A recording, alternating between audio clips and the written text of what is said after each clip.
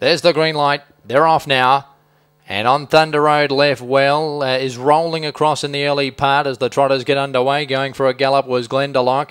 Galloping out of tension as they come down past the winning post. Flying Isa is showing up, and outside of it was Earl of Clevedon.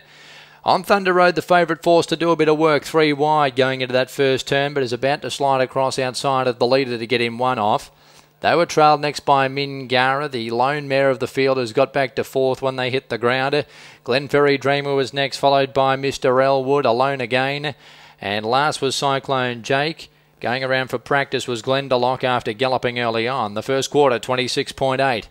And past the 1,000 metre mark, Flying Eyes is the front runner leading by three metres.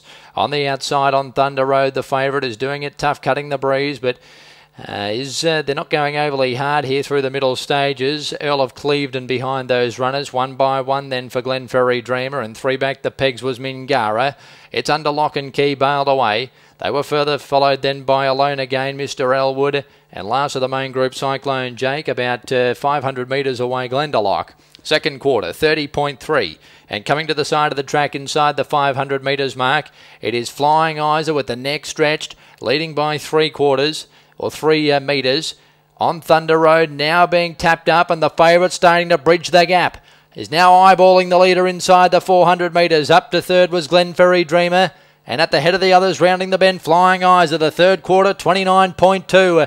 Into the lane, and the fave goes for home on Thunder Road. Hancock gave him a couple of cuts with the whip. He's five metres in front. Glenferrie Dreamer's got to second. Is starting to make up a little bit of ground, but on Thunder Road, he's digging in for the fight. Trying to get there, Glenferrie Dreamer. They're having a two-horse war. On Thunder Road, he fights, he lifts, he gets home. On Thunder Road, first has beaten Glenferrie Dreamer. Third between Alone Again and Mr. Elwood.